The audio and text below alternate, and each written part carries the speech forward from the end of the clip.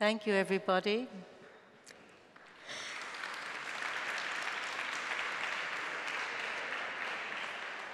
I'd like to start by thanking the organizers for giving me this space. And I'd like to thank so many of you who are in the room for having taught me so many of the things that I'm using in this intervention. It's because of what you've taught me and shared with me that I'm able to speak here today. So I'm wrapping up a little bit by pulling together some of the ideas on strategies within our systems, both for the social movements and the strategies that we're implementing on our own and together at grassroots level, but also the strategies that we're using at institutional level, working together Urgenci now represents somewhere between 1 million and 1.5 million people involved in community supported agriculture as producers or consumers, who are all parts of national and local networks all over the world.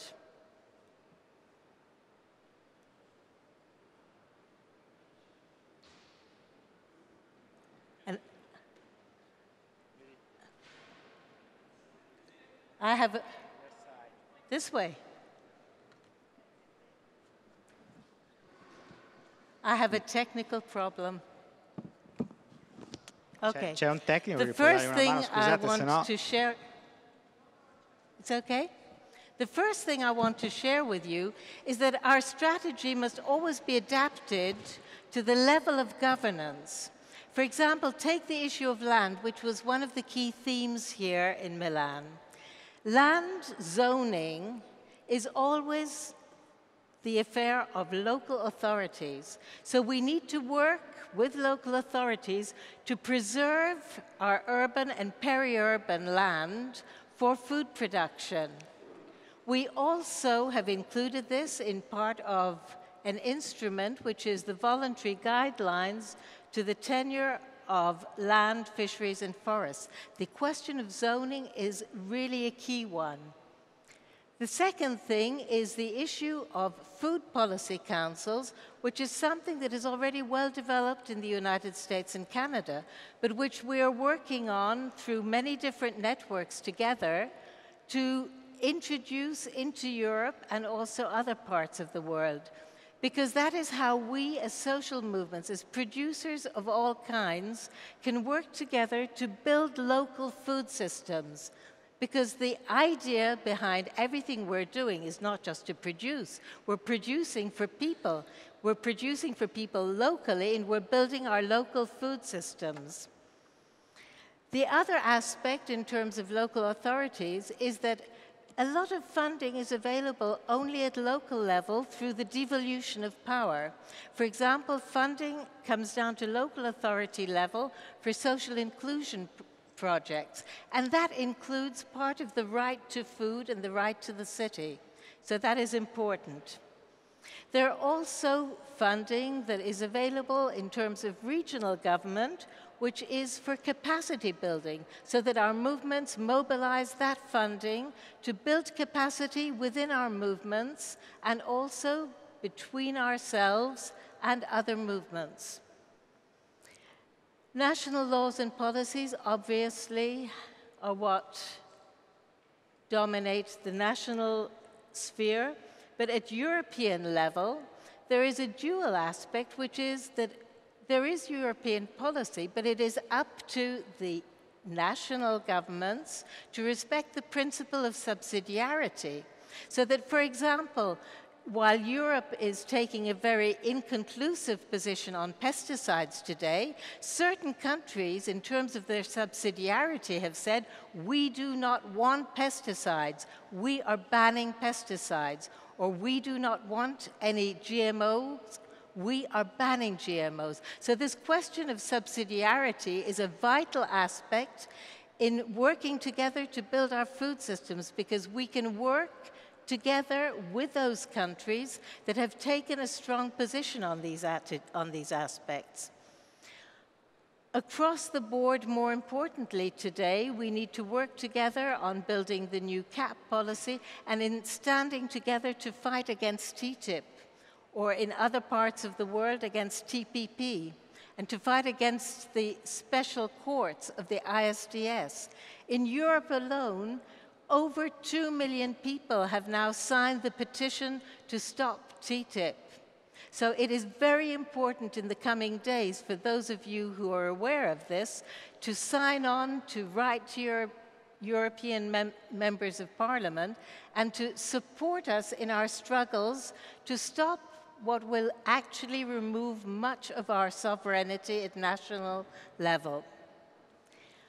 There are also international guidelines that are developed within the UN bodies and particularly within the Committee on World Food Security, where the civil society mechanism, which is unique and which several of you here in the room are members of, and where civil society and social movements in particular are working on policy related to food. And it is a unique space where we work together.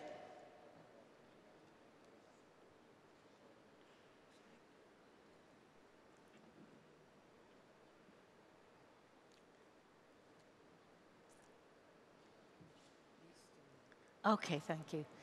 I apologize, I'm not a geek. So, in terms of the United Nations in building this policy, we work on realizing different rights. The right to food, obviously, is the central one, but it is essential to always bear in mind that human rights are indivisible and that the right to food brings together peasants' rights, indigenous people's rights, consumers' rights, and also workers' rights, because there is a workers' constituency as well. So that these are all aspects that are interrelated. Mariam spoke wonderfully about the importance of biodiversity. I'm just going to show you a few photographs that illustrate the different aspects of what is important and what we're working on. Without bees, there is no pollination. Yet bees are dying off. There are fewer and fewer. I have nothing but plants that attract bees in my garden. Now, I can see from one year to the next how the pesticides in the region I live in have affected the bee colonies. Fortunately, in my home in Ireland, there are still lots and lots of bees, and this is a bee in my garden on a fuchsia plant, on fuchsia tree, and fuchsia is one of the symbols of the region where I live. Biodiversity is also wild, it's not just cultivated, and of course, mushrooms are a part of that too. Water is another issue that has been dealt with extensively in the meeting that we've had over the last three days. Water is an essential part of our lives, part of our lives in terms of cultivating, in terms of breeding animals and raising livestock, in terms of fresh water, and in terms of human survival. So, water is something that we must and are continuing to place at the center of our strategy. And there is now a working group to produce a policy document currently being developed in the Committee on Food Security that will be debated in October of this year with a very strong civil society working group led by one of the people who made a presentation here. Peasants' rights are central because peasants' rights are not just for those who work the land. Peasant rights include all the other constituencies. They include pastoralist rights, like these young girls in the High Atlas in Morocco. They include fishers' rights, and in that case, it is particularly difficult today for fishers to have access to their fishing grounds. This photograph is taken just a couple of hundred meters from where I live in Ireland, and this boat is typical. There are very few boats left, and the boats have very little fish left to catch. So fishers' rights are particularly important. Also, not just in the sea, but in fresh water. This is some fish that was caught in Uganda, and it shows the tilapia just freshly caught that are about to be auctioned but there's a small quantity. It's just a few fish strung together. And also, as I said, the indigenous people's rights. Because their rights to their territories, their rights to their seeds, to their culture, are an integral part of everything that we are fighting for. Consumers' rights, there is actually policy there is a policy document and an instrument specific to consumers' rights, but consumers' rights to have access to healthy local food. This is a photograph taken at the Beijing Farmers Market, which is different from the other market that was presented. It's a market that was developed back to back with the community supported agriculture network so that the producers, the small scale family producers, sell to their consumer groups every week, but they also have the farmers market. And it is a pop up market. Sometimes it has to change places. It's not a fixed market. And they have to get around all kinds of transport regulations and health and safety regulations. But the consumers are happy to go there. And as you can see, none of the produce there that you have here is necessarily very standard or beautiful, but it is produced locally. The issue of climate change is also one of the questions that we have discussed. And of course, climate change, as Ibrahima said earlier on, is drought, it's typhoons, it's many different things, but it is also extreme cold. This looks like a lovely picture when you look at it, but the people in this chalet couldn't get out of their house. They were snowed in. So there's a negative side to this picture, although it looks really lovely. And of course, we have to, as many people have already said here, fight against trade regulations and fight against the control of transnational corporations on our system be it our seeds, be it the trade, be it the agribusiness, whatever level, these are things that we as social movements together are fighting, will continue to fight, and with everybody's support. It seems to me that one of the challenges that we face as social movements is that there are many different parts of the UN system. They're delocalized, they're in different countries, they're in, on different subjects, there are different legal instruments. I tried to put them into one chart. I'm not going to go through it because I would take too much time and Giuseppe would be very angry with me. But this is, of course, available to everybody. And the idea is to think about the fact that, yes, it is all over the place, and yes, there are all these different legal instruments, but at the same time, these institutions have the difficulty to adapt to working together because they have historically worked as silos, whereas we as social movements work together. But we in the social movements are working on one thing that is very clear, which is the right to food, so that we can use all these different legal instruments together, and we do. And there are many people here who have incredibly deep, specialized knowledge. But as we work, be it within the International Planning Committee on Food Sovereignty or within the civil society mechanism, we build our strategies together, sharing our specialized knowledge on all these subjects. So, what is the right to food? Well, it is also based on this incredible biodiversity of what exists locally. If you think aubergines, you probably think beautiful, uniform, purple vegetables. And in China, what did I see on one of the farms we visited, well, there were green aubergines, there were white aubergines, and the purple one wasn't a sort of nice roundy one, it was this long stringy one. So this is all just to illustrate the biodiversity of just one thing.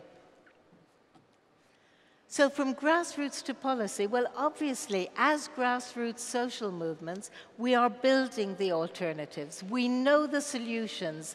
We are doing it, we are putting it into practice. At the same time, we need to work to build things at the institutional level. Our, but our strategy is not built top down. Our strategy is built on talking peer to peer, working together within our movement with other grassroots movements to reach consensus, and we are working from that consensual base. This is something that the institutions are recognizing now, and it is our biggest strength. We are also working at many, many different levels, but our strength, as I said, is our work together and our communication. Again, another picture from the Beijing farmers market. We talk very often of buen vivir. And to me, these two young Chinese girls are a perfect picture of buen vivir. They're happy. They're doing what they love doing. They love making their produce. They love selling it. And they're young. So don't let anybody say there aren't any youth involved. There are both youth and women, and they're out there. What are the challenges? Well, we are facing some very, very serious challenges. First of all, there is increased repression. As our movements grow and reach a critical mass, so the repression becomes harder because we are a danger. We're a real threat to the transnational corporations and to agribusiness. So there's the threat of repression. There's the threat of violence in Latin America, in Africa, and even in other parts of the world. People are killed for defending their land. People are killed for defending their seeds. People are killed for defending their right to their territories and to food. And this means we must stand up and be counted and defend the right to life as well as the right to food. There is also a singular betrayal by our duty bearers, those elected representatives who we put in office, who have betrayed us, who are about to sign these terrible treaties like TTIP and TPP and TISA. So this is a huge challenge. The corporate capture of our ideas and of our success stories is an additional threat. It's also very insidious because as we reach a critical mass, for example, CSA, community supported agriculture, has now reached a critical mass in many countries. So it's being captured by companies that are traditional capitalist trading companies that are buying at a very low price from local farmers they have a website, you can see what the farmer looks like, you feel good, you're buying local produce, but the farmer is not getting that high percentage that is agreed and the share of the risks and the benefits of the whole solidarity economy approach that we would have in other solutions. So the capture of our good initiatives is something we need to be very careful of. There is also legislation, for example, on certain economic aspects, on introduction of so-called agroecology that is very, very restrictive, that it reduces agroecology to a set of tools. And as Mariam's just explained, agroecology is something that covers production, consumption, our culture, our territories, and everything in a totally holistic way. So we must be careful not to allow ourselves to be reduced through legislation or whatever. Same as I have already said about short distribution chains. Greenwashing. Greenwashing goes so far, you wouldn't believe it. Corporations, for example, in Eastern Europe, are given a total tax break if they put money into funding solidarity economy projects, including community funded projects on agriculture, like community gardens and things. This is not acceptable. This is really, really not acceptable. We do not belong to corporations. And greenwashing our initiatives, be it fair trade, be it one thing or another, it's totally unacceptable and it happens a huge amount. I mentioned already the difficulty of the compartmentalization of institutions, and this is a challenge we're all facing. And the social movement's consensual approach takes time. When I get an email saying, that the CFS needs case studies for tomorrow. What do I have to do? I end up spending all night on my computer looking for case studies. In the policy negotiation process, we have 24 or 48 hours to adapt, react to proposals on the policy that are being made by the task team. Well, we can't go back to grassroots level. It's totally impossible. We have to fight for more time in everything, and this is one of the biggest challenges that I have found working within the institutions. Also, the Sustainable Development Goals in the post-2015 poses a challenge. How much of that funding is ever going to empower grassroots? We have to fight. We won't change much, but we need to fight, and there are people here who are working on that already, to fight so that some of this money actually really comes down to grassroots level for people to work on. So it's between Geneva and Rome where we do a lot of our institutional work. I just want to mention that there are three, just so that people really understand. The CFS, the Committee on World Food Security and Nutrition, builds policy documents that are voted on by the states.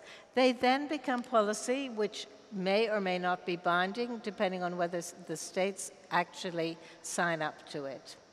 The civil society mechanism has working groups, has, has interventions in the policy debates, and is funded by the states so that there is a genuine space for social movements. The FAO works at different levels, and it's quite complex, and it took me a long time to understand what happens there.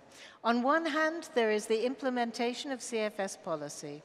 On the other hand, there are the regional conferences every two years, where the civil society consultation brings out certain things, where again we work on this together and prepare, it, so that these things will then become regional policy and then will be worked on at country level. But the FAO also has thematic working groups and that will have funding to work on certain things.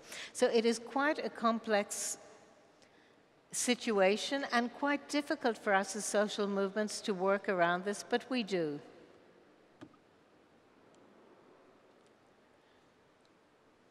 So we are working, building our solutions at grassroots level, building sustainable local food systems. Agroecology, I have already talked, so I will not mention it again, but it is what we are working on. It is our priority as social movements to bring all the different aspects of our struggles together. And as Mariam said, the declaration, the Nyéléni Declaration, is a very, very deep and successful document. Local food policy councils, social movements working together, Low carbon solutions like using horses to plow instead of huge, great big tractors. The fact that many CSAs are distributing using a bicycle with a sort of a thing attached behind it so they can bring the food into the distribution point on a zero carbon basis. And all of this adds up to food sovereignty in action. One final thing I will leave you with, or almost final thing, is how we at Urgenci have worked from our objectives to develop our strategy and interfaces, because I think it is an interesting example not to push for urgenci, but to say how come and how we have managed to work with maybe five or at least five of the different networks that are here because in our programs, we are part of IPC. We work with uh, Semences Paysannes because many of our producers work with the seed network. We are part of the Nyéléni process, and we're also part of Hungry for Rights. We are actively involved in the solidarity economy movement because our two pillars are equal equally important. On one hand, food sovereignty, but also being part of a change in economic paradigm. We can't just talk about food sovereignty at a certain moment. We need other kinds of change as well energy change, financial change, and this is part of solidarity economy, so that there is a strong interface with the solidarity economy movement through RIPESS, of which I'm also a member. We work with different entry points at the UN through all of this, in particular with the United Nations Interagency Task Force on Social and Solidarity Economy, and where their publications have spoken a great deal about food sovereignty now. So this all comes together. We also work with European Union funded projects and local food policies, and all of this from our core objectives then feeds into creating and contributing to global food policy.